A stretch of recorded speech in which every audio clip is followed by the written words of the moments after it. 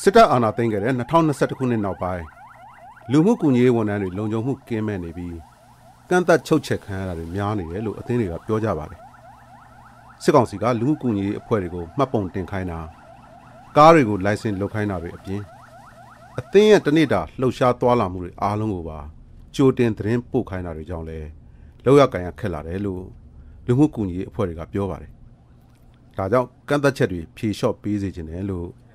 ရန်ကုန်မြို့ကလုံခြုံရေးကြောင့်အမည်မပြောလို့တဲ့လူမှုကူညီရေးအသင်းတာဝန်ရှိသူတယောက်က RFA ကိုပြောပါတယ်။နာမည်သတင်းပို့ပြီးသွားလာတာနည်းနည်းချက်တဲတော့ရှိတာပေါ့။မှန်လို့ရှိရင်လောလောဆယ်လုတ်ပန်ခွင့်လေးပြီးတော့ပိုကောင်းတာပေါ့။သူတို့သတ်မှတ်ထားတဲ့လင်းပွင့်လိုင်စင်တွေလျှောက်ဆိုတော့အကုန်လုံးတော်များလိုင်စင်တွေလျှောက်ကုန်ပြီလေ။အဲညဘက်ကျရင်သွားတဲ့ခါကျတော့သူတို့သတင်းမပို့လို့ပါညာတခါကျရင်လည်းနေမချင်းမတူကြဘူး။ဒီဘက်နယ်မြေလွန့်လဲတစ်ဖက်နယ်မြေကနည်းနည်းလေးအခက်အခဲရှိတာပေါ့။အဓိကတော့နည်းနည်းလေးဖြေလျှော့ပေးနေတာပေါ့နော်။အသင်းတွေလိုင်စင်လျှောက်တဲ့အခါမှာလဲမြို့နယ်ခရိုင်တိုင်း စတဲ့အဆင့်လိုက်ဘလို့ဆောင်ရွက်မဲ့အသင်းလဲဆိုတာရှောက်ရသလိုခွင့်ပြုထားတဲ့နယ်မြေကိုကြော်ပြီးသွာလာဆောင်ရွက်ခွင့်မရဘူးလို့မန္တလေးမြို့ကနာမည်မပြောလို့တဲ့လူမှုကူညီရေးအသင်းခေါင်းဆောင်တယောက်ကပြောပါတယ်အဲ့ဒီပြင်သူတို့လူနာတွေကိုတင်ပြီးသွာလာတဲ့အခါတွေမှာလဲညနေ6နာရီကျော်ရင်ခီးဆက်ဖို့ခက်သွားတဲ့အတွက်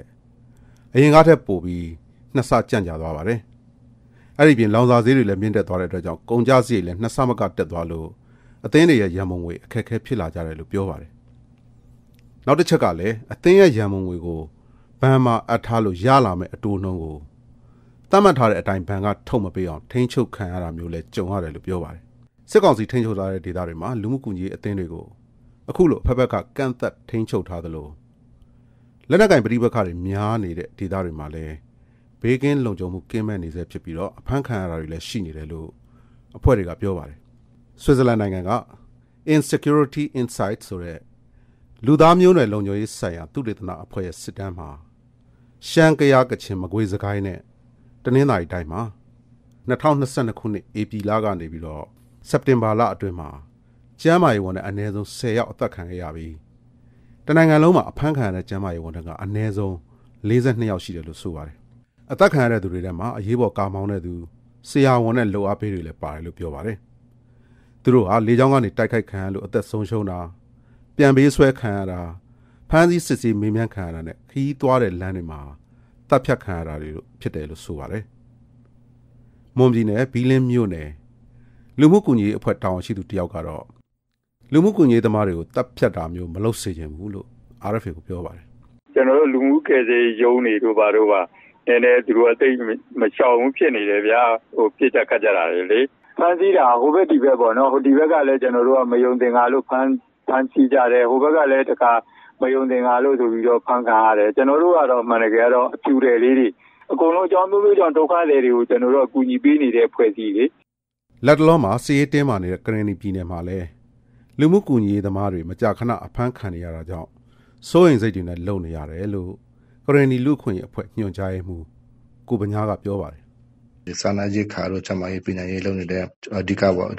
ပညာရေးတို့ကျွန်တော်နောက်ပြီးတော့ဒီဘလူးထူချမရေးတို့နောက်လူထူစာနာရေးခါတို့ပေါ့နော်အဲ့ဒီဘက်မှာလုပ်နေတဲ့လူတွေရဲ့ဟိုစွန့်ချက်တဲ့ပုံမြင့်လာတဲ့အတိုင်းပဲအာတည်ဆုံးမှုတွေတော့ကျွန်တော်ဟိုတော်တော်လေးနည်းသွားတော့ပေါ့နော်အာအထူးသဖြင့်ကတော့ကျွန်တော်ဖန်ဆင်းမှုတွေကတော့ခဏခဏခံရတော့ရှိလို့ပေါ့နော်စစ်တပ်အရာရှိဟောင်းတွေနဲ့ဖွဲ့ထားတဲ့တင်ငါမဟာဗျူဟာလေးလာရေးအဖွဲ့ရဲ့အမှုဆောင်ညွှန်ကြားရေးမှူးဦးသိန်းထွန်းကတော့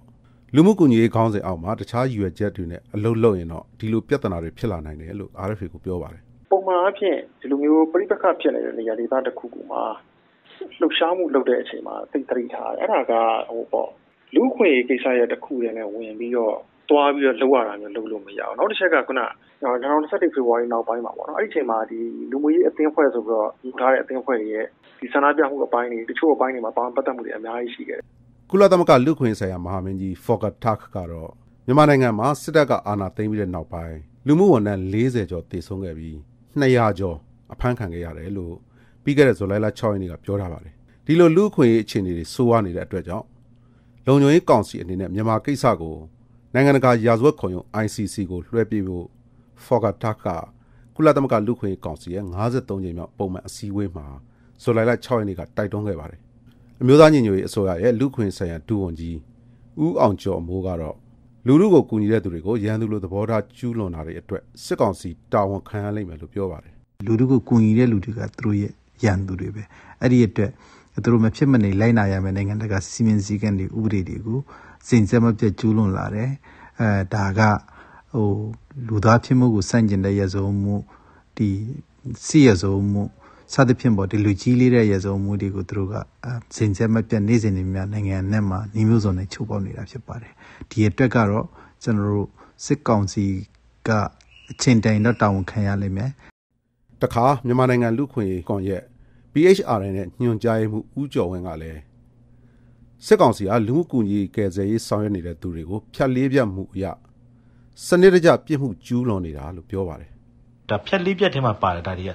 ဟိုဘယ်လိုပြောလဲပြည်သူတွေလက်ထဲကိုစားနေရခံမရောက်ရဘူးသတင်းချက်လက်တွေမရရဘူးเนาะလူသားချင်းလူရင်းမြစ်တွေမရောက်ရဘူးဒါမျိုးတွေဖြက်လေးပြက်ကိုတော့ဖြက်ဖြစ်တဲ့ပုံမှာဒါဒါဒါတွေကိုပါတယ်ပေါ့နော်ဆိုတော့ဒါစနစ်တကျလုပ်တယ်လို့ယူဆလို့ရတယ်ပေါ့နော်ပရိုက်တာအဖွဲ့အစည်းတွေမှတ်ပုံတင်ဖို့နဲ့မှတ်ပုံမတင်ဖြတ်သိမ်းဖို့လိုင်စင်မရှိတဲ့လူနာတင်ရင်တွေကိုအသုံးပြုခွင့်မပြုဖို့ဆိုပြီးတော့စစ်ကောင်စီက2021ခုနှစ်နိုဝင်ဘာလ16ရက်နေ့ကတည်းကထုတ်ပြန်ခဲ့ပါတယ်။အဲဒီနောက်မှာတော့စစ်ကောင်စီကလူမှုကူညီအသင်းအဖွဲ့ရုံးတွေကိုဝင်ရောက်စီးနင်းပိတ်သိမ်းတာတွေ တာဝန်ရှိတဲ့သူတွေကိုဖမ်းဆီးအရေးယူတာတွေရှိခဲ့တယ်လို့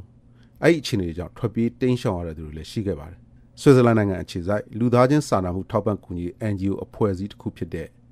Care International အဖွဲ့ရဲ့2022ခုနှစ်ဩဂုတ်လ16ရက်နေ့ထုတ်ပြန်ချက်အရလူမှုကယ်ဆယ်ရေးလုပ်သားတွေသေဆုံးမှုအများဆုံးနိုင်ငံတွေထဲမှာတောင်ဆူဒန်နဲ့အာဖဂန်နစ္စတန်နိုင်ငံပြီးရင်မြန်မာနိုင်ငံဟာကမ္ဘာအဆင့်3နေရာမှာရှိနေပါတယ်ခင်ဗျာ ကျွန်တော်ကနေရင်ကျော်ပါဝါရှင်တန် DC ကနေသတင်းပေးပို့လိုက်တာပါခင်ဗျာ